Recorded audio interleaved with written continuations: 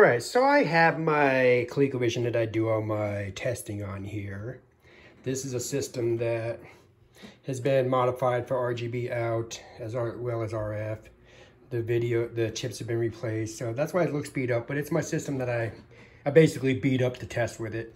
And I have a uh, blank PCB in it. Well, it's not a blank, but it's PCB in it with an EEPROM in the socket in there. I don't put it in a cartridge when I'm testing things. And plugged into the system, I have the Adam Speech Synthesizer available from Lundy Electronics, and we've been doing some testing on it. And what I got here is New Clock City. It's running off the cartridge here. We're still doing the beta. We're doing some final betas on New Clock City. Again, it's not going to ship for another three weeks, but I want to show you what we've incorporated into it. Obviously, you can get an idea. Speech synthesizer, what's going on, Milli? Well, let me reset the game and you can see. Oh, pretty darn cool, the ColecoVision speak. Want to hear that again? But that's not all it says. It also talks in the game, too.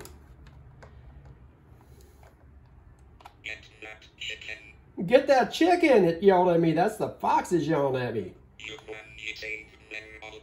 You can't save them all, it said to me. It says a It says a number of different phrases. I may add some more. And when you die, it says game over. It also says other things too. You collect all the letters, it says bonus time. And if you win, it says you saved them all. And I'm going to add more things to it too, but it's it's kind of cool we're adding speech to the ColecoVision using this in the game. It's also going to be included, Lumberjack games is going to also include the speech synthesis in it. Now let me just show you. I'm going to turn it off here. Don't unplug that thing when it's plugged in.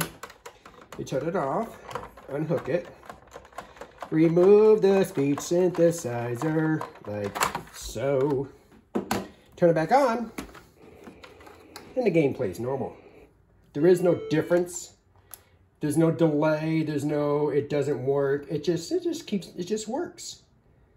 If you happen to have a speech synthesizer, it talks. If you don't have one, it don't talk. So it's, it's a nice little value added option here.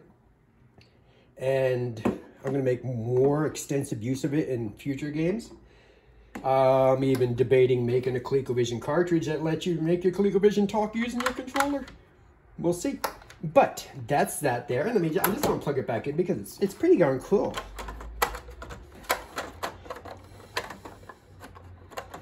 Doing this off camera is kind of hard to make sure I get it in the right spot.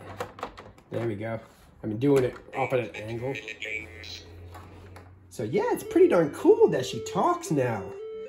We've added a voice to the ColecoVision. And this will also work with the Adam too, obviously, because it's an Adam speech synthesizer.